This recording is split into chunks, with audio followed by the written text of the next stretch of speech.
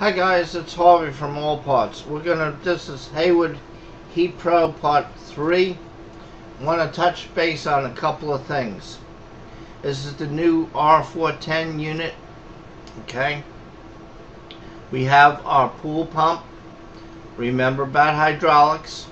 Before any 90s, you get minimum four times pipe diameter before you go into the pump. I like to see 10 times we go out of there to the filter okay? Can't put anything before the filter. Say if you wanted to put a automatic cleaner you don't want to put it here. It has to be after the filter. But if we wanted to put an automatic cleaner where would we put it? We would put it after the heater before the chlorinator. Why? Because the pool cleaner takes water away from the heater. Okay? So that if you have any kind of automatic cleaner or anything else like that, it's after the heater. That's either heat pump or gas heater because it robs water. Okay? Look at the pipe work. It's not in front of this front. All the pipes is so a mechanic can come here and work on the unit. They didn't swing pipe, go from here straight down to here, and pipe work, you know, from over here. They left complete access to this front panel. Nothing's around it. There's 24 inches around here. There's more than 24 inches around here. All right. They're talking about bypass valves. Personally, I don't like bypass valves. Um, I let the water run through it all the time. I mean, um, reason being is if you bypass it, you don't drain it, water falls out, chemistry falls out, and your pH could go wacky and all over. So on the heat pros, on the heat pumps, it's best to leave the water going through them. So I don't like these bypass valves. That's one way putting a bypass valve on. Now here's something else I want to talk about. Acid check valve. Okay? Look where it's positioned.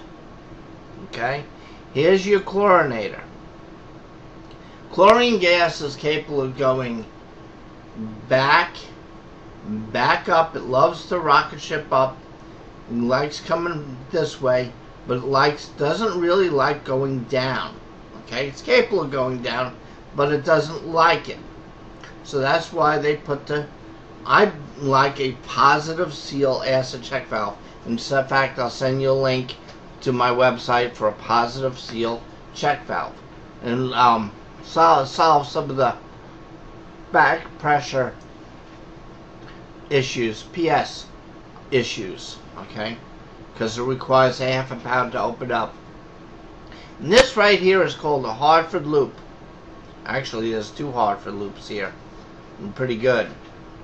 Uh, the reason why they're talking about a Hartford loop, and they're accepting a Hartford loop, either the check valve or a Hartford loop, some of you new pumps that are certified for anti-entrapment, you can't have no check valves in the system.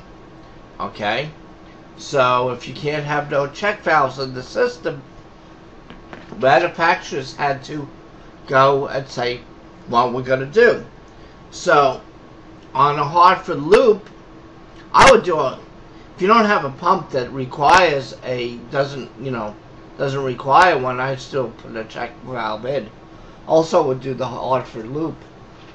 But say we had a pump that wanted not to have an acid check valve had a chlorinator.